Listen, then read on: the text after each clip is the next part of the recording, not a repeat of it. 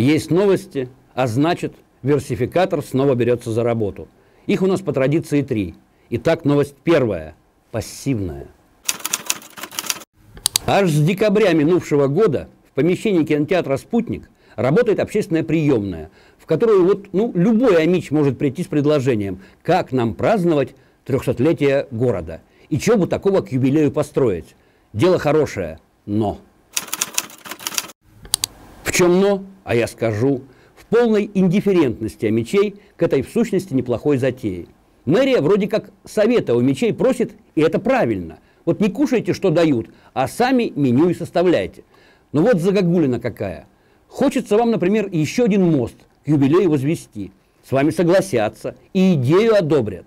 Но вот деньги на этот мост вам надлежит самим и найти. Вот такой принцип наказуемой инициативы в действии.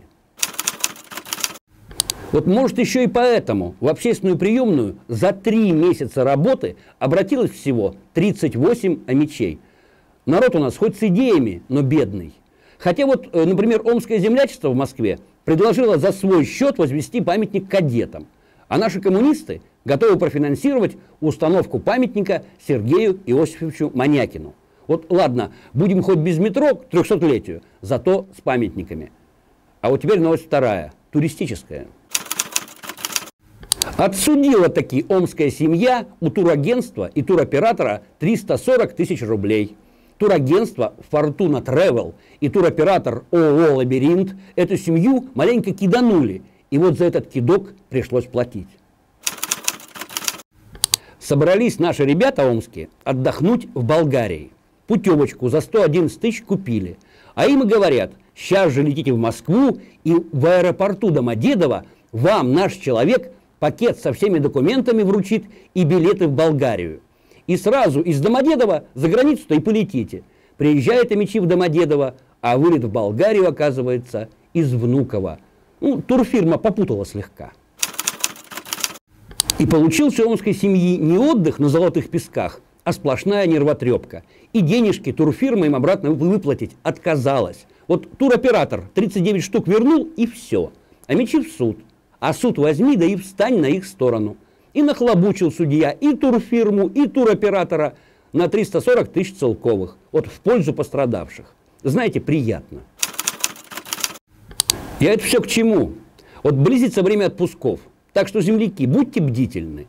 Вдруг наше турагентство не только топографии, но и географии не знают. И отправят вас вместо вот тропического Таиланда на заполярный остров Врангеля. А вот теперь новость последняя. За бабло. Выражение «бедный чиновник» перестает быть оксюмароном. Похоже, часть халявы у нашего доблестного чиновничества таки отберут.